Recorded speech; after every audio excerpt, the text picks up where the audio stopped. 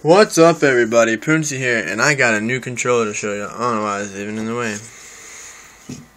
New controller, uh, all black, key lime. It's like a lime, kind of a little bit more. It's a little bit more yellow into it. I actually like it. I actually did. I did all the buttons, the triggers. Now I might. I might be doing the battery pack too. So don't yell at me. But yeah, I'm uh, probably going to sell this controller for like around 70, 75, you know, around there. It's a brand new controller. I've only used it for like not even an hour, and I started painting it just to see, you know, everything worked, make sure everything was good. Uh, but yeah, it's a pretty, you know, a pretty badass controller. I I like it a lot.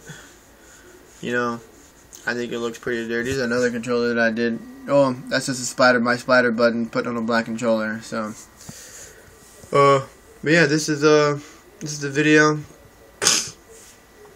of this controller that I might be selling. If you uh, if you want this controller, let me know. Actually, I'll probably just go out and buy another one, another new one, and then paint the buttons and give you inside of the analog sticks too you know, whatever whatever you want, or if you wanted, you know, black and all blue, I want to do an all blue one. So, all right, well that text message just made me want to end my video. So yeah, peace out, y'all.